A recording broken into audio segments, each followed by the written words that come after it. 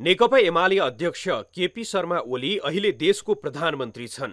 उनी नेतृत्वको सरकारले सय दिनको मधुमास सके लगत्तै विपक्षी दल उनी विरुद्ध खनिन थाले। ओली विरुद्ध सडकको अग्र मोर्चामा अहिले रासोपा र माओवादी नै छन्। राजनैतिक प्रतिशोध साध्न आफ्नो सभापतिलाई पक्राउ गरिएको बुझाइमा रहेको रासोपा ओली विरुद्ध आन्दोलनमा छ। उता माओवादी अध्यक्ष प्रचण्डले पनि निरन्तर जसो ओली विरुद्ध आक्रोश मिश्रित अभिव्यक्ति दिँदै आएका छन्। रासोपाप्रति कटाक्ष खाने बेलामा आँखा नदेख्ने खुर्सानी चपायो भने पिरो हुँदैन। खाने बेला आँखा नदेख्ने अनि अहिले अरूलाई गाली गर्ने अन्याय भयो भन्ने। रासोपा सभापति रवि लामिछाने र एमाले अध्यक्ष ओलीबीच सम्बन्ध राम्रै थियो। ओलीकै सहयोगमा दुई दुई पटक गृहमन्त्री बनेका रासोपा सभापति रविप्रति ओलीको प्रेम यतिसम्म थियो कि कङ्ग्रेस रविलाई संसदमा बोल्नै नदिने रणनीतिमा रहेको बेला प्रतिवादमा उनै ओली उत्रिएका थिए। उनै ओली हुन् जसले रविमाथि छानबिनका लागि संसदीय विशेष समिति बनाऊ भन्दा कङ्ग्रेसको विरोध गरेका थिए। फेरि साथीहरू सबैलाई थाहा होला। संसदमा छानबिन समिति बनाऊ भन्दाखेरि मैले संसदीय छानबिन समिति नबनाऊ। अन्त अन्तबाट छानबिन गर्ने निकायहरू छन् त्यहाँबाट गरौँला भनेको थिएँ। उनीहरू नै हो। समिति बनाऊ केही छैन बनाऊ भनेर उफ्रिने समितिमा आफै बसेर आफै बसेर समितिमा म त थिइनँ। त्यो उहाँहरूको पनि प्रतिनिधि थियो त माओवादीको प्रतिनिधि थियो राष्ट्रपाको प्रतिनिधि थियो।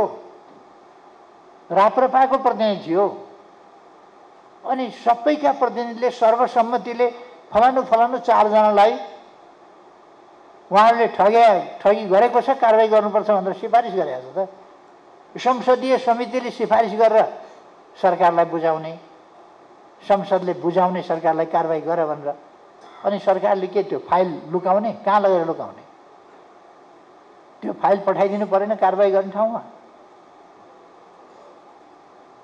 त्यसो भएर यो उफ्रिने कुराको कुनै अर्थ छैन यो गलत अभ्यास हो। तर ओली कङ्ग्रेसको सहयोगमा प्रधानमन्त्री बनेपछि भने उनको रविप्रतिको अनुराग अहिले त्यति देखिँदैन। सङ्गठित रूपमा सहकारी ठगेको आरोपमा रवि अहिले प्रहरी हिरासतमा छन्। उता रासोपा त्यसको विरुद्ध सडकमा छ रासोपाको प्रदर्शनलाई ओली कटाक्ष गरिरहेका छन्। अदालत अगाडि गएर उफ्रिएको छ दबाब दिएको छ कराएको छ। हाम्रो मान्छे छोडिदे भन्ने एउटा कुरा हुन्थ्यो होला। अरूलाई तथा नाम गाडी असभ्यता देखाएको छ। साह्रै घिनलाग्दो स्तरमा झरेको छ। त्यस्तोमा फेरि माननीय सांसद भनिएकाहरू छन्। अब कोही चुनेका कोही टिपेका विभिन्न खालकै होला। तर भेट्दाखेरि माननीय भन्नुपर्छ बोली सुन्दाखेरि। अचम्म लाग्छ। यसको चर्चा अघि पनि भयो। कानुनी प्रक्रियालाई पनि दबाबबाट मान्छे उफ्रिएर कराएको भरमा सत्यलाई पनि छोप्ने कराएको भरमा उफ्रिएको भरमा राजनैतिक खेलाडीमाझ व्यक्तिप्रतिको उसको दृष्टिकोण उसले सिद्ध गर्न सक्ने स्वार्थले निर्धारण गर्ने गर्छ। एमालेको प्रमुख प्रतिस्पर्धी कङ्ग्रेस हुँदा कङ्ग्रेसलाई कमजोर बनाउन रवि र रासोपाको प्रयोग एमाले अध्यक्ष ओलीका लागि स्वाभाविक थियो। तर एमाले र कङ्ग्रेस नै मिलेपछि रविको महत्व ओलीका नजरमा पहिलेकै तुलनामा नहुने भयो। उता ओलीको निशानामा अहिले माओवादी पनि छ।